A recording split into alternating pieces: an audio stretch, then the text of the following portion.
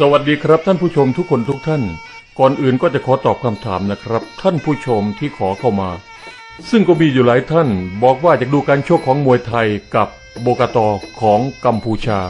ก็ได้ตอบว่าไม่มีนะครับ และท่านก็ได้ขอเข้ามาอีกหลายครั้งนะก็อยากจะอธิบายว่าการต่อสู้แบบโบกาตอของกัมพูชา มีลักษณะคล้ายคลึงกับกระบี่กระบองบ้านเรานะครับท่าน และที่นักแสดงกัมพูชากำลังโชว์อยู่นี่ เป็นการแสดงโชว์การต่อสู้แบบประดันเสเรและโบกาตอ ต่อมาคำว่าประดันเสเรเขาได้เปลี่ยนมาเป็นขุนคาแมการต่อสู้แบบนี้จึงเรียกว่าขุนคาแมโบกาตอนะครับ นี่คือขุนคาแมนะครับที่มีลักษณะคล้ายมวยไทยที่สุดนะและการต่อสู้สองลักษณะนี้ถ้าเป็นที่บ้านเราจะเรียกว่า มวยไทยกระบี่กระบองนะ คือเมื่อต่อสู้กันอาวุธหลุดจากมือนะก็เปลี่ยนมาเป็นมวยไทย ซึ่งมีลักษณะคล้ายคลึงกับกัมพูชามากนะครับท่าน คือตอนแรกเป็นการต่อสู้แบบโบกตอ เมื่ออาวุธหลุดจากมือจะเปลี่ยนมาเป็นขุนคาแมดังนั้นท่านที่ถามเข้ามาไม่จบไม่สิ้นก็จะอธิบายให้ฟังว่า การต่อสู้แบบโบกตอมีลักษณะคล้ายกระบี่กระบองนะจะชกกับมวยไทยไม่ได้ ก็เหมือนกับมวยขุนคาแม จะมาชกกับกระบี่กระบองบ้านเราไม่ได้นะครับ เพราะมีอาวุธ ในการสู้รบสมัยโบราณ การต่อสู้ทั้งสองอย่างนี้จะเป็นหนึ่งเดียวนะ ถ้าจะมีมวยไทยอย่างเดียวก็คงจะสู้เขาไม่ได้นะครับ เราก็ต้องใช้อาวุธนะใช้กระบี่ใช้กระบองเนี่ยนี่ก็คือการแสดงโชว์ของไทย ที่เขาเรียกว่ามวยไทยกระบี่กระบองนะครับสำหรับมวยไทยก็ใช้เมื่อยามจวนตัวนะเมื่ออาวุธไม่มีแล้วนะ ก็ต้องใช้แม่ไม้มวยไทยใช้มือเปล่า ในการต่อสู้กับศัตรู แต่ปัจจุบันนี้ก็ได้ดัดแปลงนะมวยไทยมาเป็นกีฬานะเอาก็ต้องออกตัวนะว่าสมัยก่อนเขาไม่ได้เรียกมวยไทยนะเอาก็ต้องเรียกให้เห็นภาพนะครับท่าน และเมื่ออาวุธหลุดจากมือ เขาก็สาธิตการต่อสู้แบบมวยไทยนะชั้นใดก็ชั้นนั้น การต่อสู้แบบกัมพูชานะครับ โบกาตอ เมื่ออาวุธหลุดจากมือ ก็กลับมาสู่การต่อสู้แบบ ขุนขแมหรือประดันเสือเรยนะครับ ถึงแม้ว่าการต่อสู้แบบขุนขแมโบกตอของกัมพูชา และมวยไทยกระบี่กระบองของไทย จะมีลักษณะที่เหมือนกันนะครับ แต่ก็ไม่สามารถยืนยันว่าใครเรียนแบบใครนะครับ ซึ่งการยืนยันแบบข้างๆคูๆไม่มีหลักฐาน ถือว่าใช้ไม่ได้นะประเทศที่ถูกที่สุดก็คือประเทศที่อยู่เฉยๆนะ และก็พัฒนาการต่อสู้ของตัวเองจนก้าวหน้า ส่วนประเทศที่อ้างว่าเขาไปคัดลอกของตัวเอง โดยที่ไม่มีหลักฐานยืนยันได้อย่างแน่นอน ก็จะถูกมองว่าเป็นฝ่ายหาเรื่อง และที่พูดมานี้ก็ไม่ได้เอ่ยชื่อถึงประเทศกัมพูชานะครับท่าน และต่อไปนี้จะได้นำเสนอการชกของมวยไทยค่าเชือกกับกัมพูชานะครับ แต่ก่อนอื่นเลย มีท่านผู้ชมขอคลิปเต็งหนึ่งชกกับนักชกพม่านะครับ เนื่องจากเห็นว่าเป็นคลิปสั้นๆ ก็จะลงขั้นรายการก่อนวันเถาะสำหรับการชกในครั้งนั้น เต็งหนึ่งสิทธิ์เจสายรุง้ง จะขึ้นชกกับโอพระเจ้าดูสิเยียนเดียนอ่อง จอมโขกแห่งพม่า ดูสิครับท่าน มันน่าอัศจรรย์จริงๆเลย เขาโขกคู่ชกจนแตกทั้งคู่ และนี่คืออีกครั้งหนึ่งที่เขาขึ้นชกกับนักชกเมียนมาระดับแชมป์นะครับ จับตาดูหัวของเขา เห็นไหมโอ้โหพี่น้อง โอ้ มันอัศจรรย์จริงๆนะครับเนาะหัวโขกสลบเลยล่ะนะโอ้ มันน่ากลัวจริง ๆ เลยอะและเมื่อเขาได้เดินทางมาชกกับมังกรปากน้ำโพ เต็งหนึ่งสิทธิ์เจสายรุ้งนะครับท่าน โดยการชกเกิดขึ้นที่กรุงเทพนะครับ เมื่อวันที่ 20 สิงหาคม ปี 2560 เท้ากาดำภาคเป็นภาษาอีสานเอาก็เช่นเคยนะครับเนาะถ้าพูดเนื้อหาสาระให้ท่านรู้จะภาคเป็นภาษาไทย แต่ว่าพ่อตีกันแล้วก็ไว้จวดเล่าเท่าแล้วสำบายดีไปยังสปปลาวข้ามของไปทั้งเวียงจันทน์สอดปดไปหอดแขวงอัตปือ เมืองฝังสายแฮมเมืองแพรสายเบิกโอ้โหว่าท่านในภาคยุหาขว เอาโดนการคอนะครับแล้วดังป่งลางเลยก็ก็ก้นที่ถังอะไรว่างั้น เอาลุกขึ้นมาอีกว่าจังไดเห็นตัว เอานั่นโดนไส้แต่ว่าบ่ถึก เอานั่นโอ้โหลือสีบดยาพี่น้องลองเบิ่งตีกับมั่งก่อนปากน้ำโพนั่นน่ะโอ้ยถีบนาเอานั่นถีบนาอีกแล้วเอาวิคือเฮ็ดคักแท้เอาได้เฮ็ดหยังบ่ล่ะน่ะเพิ่นเฮ้อมาเปรไผสูงพันน่ะเอามองพี่เลี้ยงแล้ว เอาเอามวยต่อยกับพม่าต้องต่อยแบบเต็งหนึ่งนะครับเนาะเนี่ย เอาก็ต้องใช้มวยที่มีลำหักลำโค่นวันเถาะเนี่ย เอานั่นเห็นว่าโอ้โหพี่น้องเอ้ยดังบึ้มเลือดเข้าครั้งดัง เอาแน่ยกมือพอดีเก๋มากไอ้เนาะพะนะเอากรรมการนับพอดแปด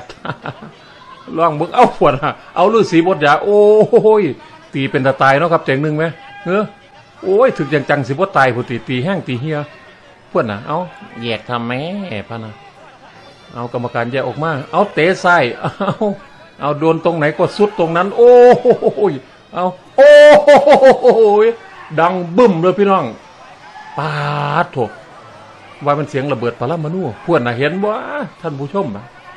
เว้ยล่องเบิงตีกับเต่งหนึ่งเนาะครับเนาะเอา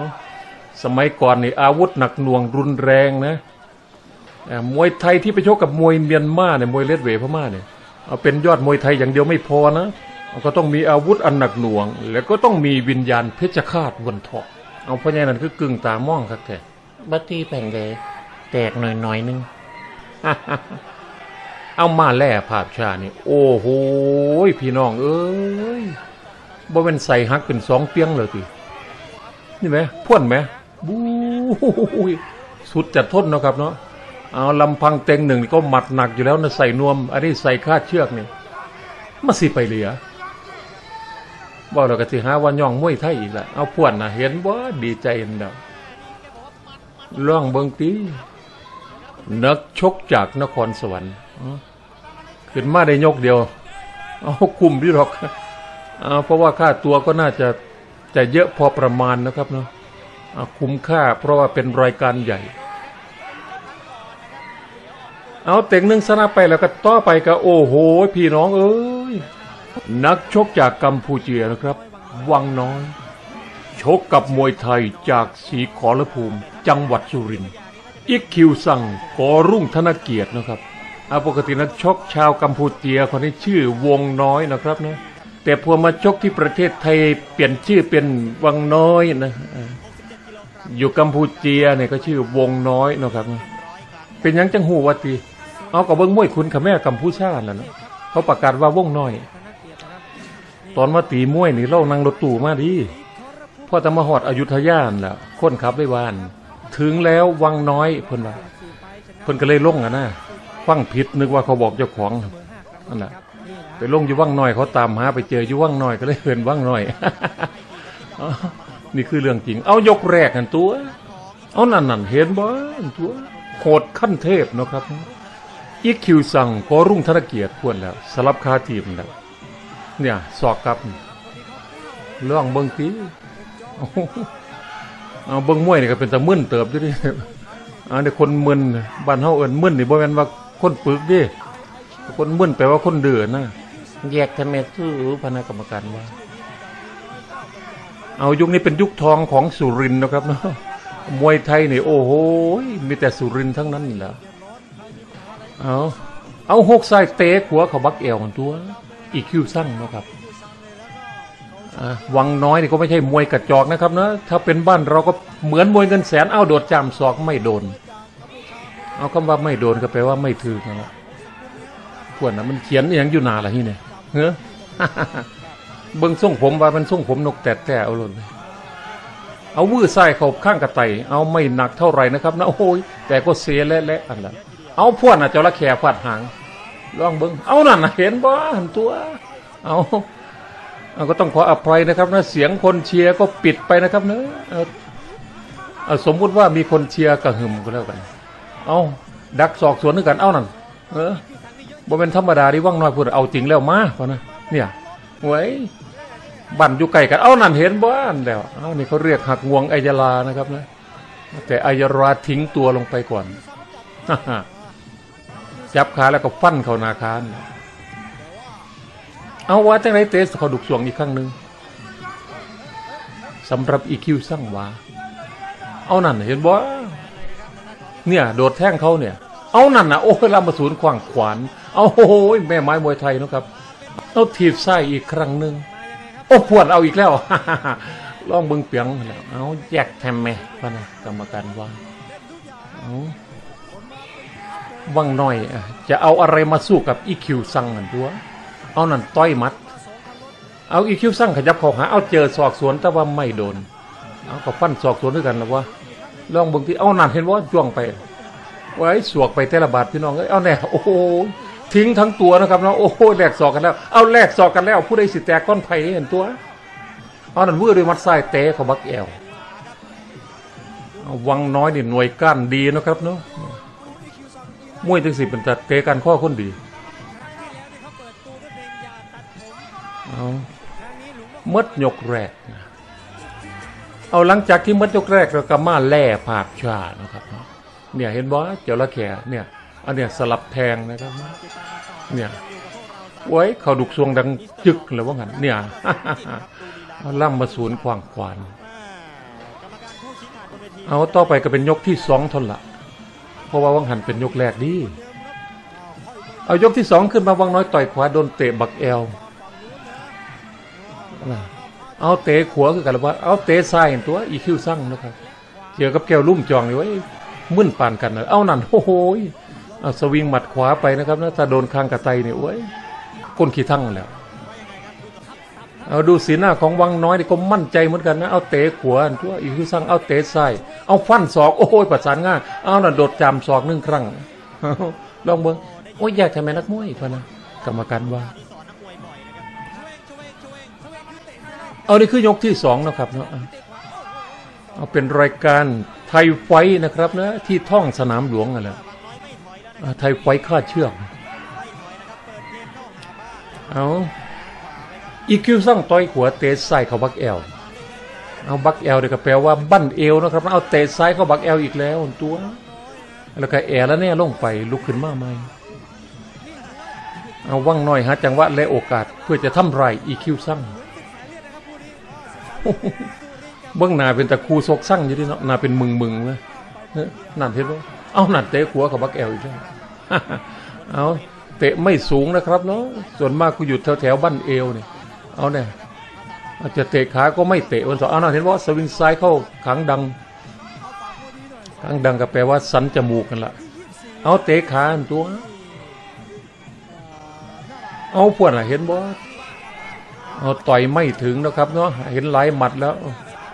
หมัดของวังน้อยเนี่ย ต่อยไม่ถึงวันพอเอาหน่าจับครับเอานั่นเห็นไหมก็คล้ายๆถ้ามาดีดกระโหลกนะครับเนาะแต่ว่ามาดีดกระโหลกนี่ มือจะต้องไม่ถึงพื้นคล้ายๆตีลังกาลังเตนไหมตามที่เจ้าของเคยเห็นว่า เอานั่นนะโดดแท่งเข้าเง่าเอาเตะใส่หนึ่งครั้งตัว แยกอีกครั้งหนึ่งพะนะมือนี้วิญญาณงัวหน่อยบ่ขาสิงกรรมการไทยมีของขังตัวเป็นได้ได้บุกปากแหบๆเลยมือเอาต้อยขวานตัวว่างหน่อยเอาแทงเข่าซ้าย เอาโอ้โหจามศอกพี่น้องสิวข้างกระไตปิดวันหนึ่ง สำหรับอีคิวสร้างแล้วกันเห็นว่าศอกครับอันนี้ก็โชว์นะครับเนี่ยอันนี้เป็นการชกที่ถูกต้องนะครับนะโชว์แม่ไม้มวยไทยเนี่ยเอาหนันเห็นว่าเตะหัวเอาอันนี้ก็ถึงปลายปลายยกที่สองเอาถีบหัวของนาท่องนะครับอีคิวสร้างเอาโดดตำละเตะไส้เบาๆ เอาพวนนะเห็นว่าเตะขาดุกสวงนะครับ เอาแต่แข้งของวังน้อยนี่ก็ยังไม่ค่อยเห็นเท่าไหร่นะครับ โอ้ย เอาเสียหลักเนาะเฮ้ยเก็บมันข้างกระไตเอานั่นเข้าเน่าโอ้ยว่าจังไหนเอาสวยจังนับบ่เฮ้อเอาโอ้โหนี่สวยดินี่ถ้าได้นับเนี่ยอัดซ้ำที่ห้าเจ็ดแปดเอาโดนนับแล้วนะครับเอานั่นอ่าแล้วข้างดังแม่งเลยลุงหันหมดยกที่สองตัวเอามาแล่ภาพชานะครับเนี่ย โอ้โหพี่น้องเอ้ยเนี่ย ตำเข้าไปตรงดุกซ่วงกันเอาเนี่ยก็คล้ายๆท่าของแสนชัยเนาะอากามาแล่ยกที่สามนะครับเนาะซึ่งเป็นยกสุดท้ายนะเอารับรองไม่ครบยกแน่นอนตัวอีกคือสร้างเตะขัวกับบักแอลเอาเจอศอกสวนเอานั่นโอ้ยแหลกศอกแล้วเฮ้อแอลแล้วแน่บ่เอาว่าจังไดเฮ้อเอานั่นเอาเอา อุ้ยมาเห่าแต่เอาพวนน่ะ เห็นไหมเห็นไหมโหดขั้นเทพอ้วนน่ะอุ้ยเอาแลนดุดเอาปันยังเอาเลยไปเอานั่นเอาทั้งฟันศอกทั้งเตะใส่เอาพวนนะโอ้ยเอาท่านผู้ชมก็เชียร์ดังนะครับนะเนี่ยเอาแต่เสียงปิดไปนะโอ้ยเสียแห้งกระดอกกระเดียเอาตกพอกละบดีเอาถือยังถือเข้าตีเฮ้กรรมการนับห้าหกเจ็ดแปดเก้าสิบพะนะอ้าวเอาจับแพ้ในต้นยกที่สามนะครับเนาะ ทนไม่ไหวแล้ว โอ้โหพี่น้องเอ้ยเอาว่าเป็นแปลกน้ำติคือจังเห็นเลือดแดงจึงคืงเฮ้อเอาพ่วนนะเห็นบ่นักชกจากศรีขอรภูมิ จังหวัดสุรินทร์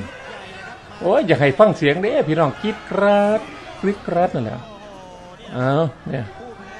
เอาตรงมาคัดเลือดนะครับเนาะเอา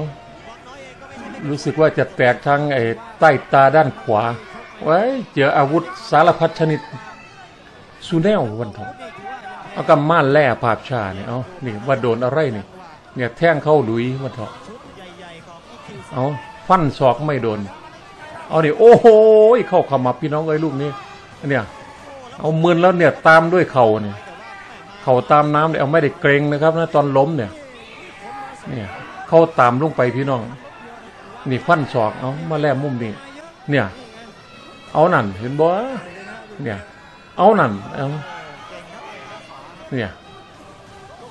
พวนอะ โอ้โหลูกนี้ก็มึนงงแล้วนะครับ เนาะเนี่ย เอาทิ้งตัวตัวถือเข้าดังป้องล่างบันหนึ่งเอาอะผลก็ปรากฏว่าอีคิวซังกอรุ่งธนเกียรตินะครับ นักชกจากศรีขรภูมิจังหวัดสุรินทร์ก็เป็นฝ่ายสามารถเอาชนะน็อกนักชกจากกัมพูเชีย วังน้อย ไปในยกที่สามท่อนตัวอาก็ต้องจบนะครับเนาะ ขอกราบขอบพระคุณทุกท่านที่ติดตามรับชมนะครับ จากเท้ากาดำ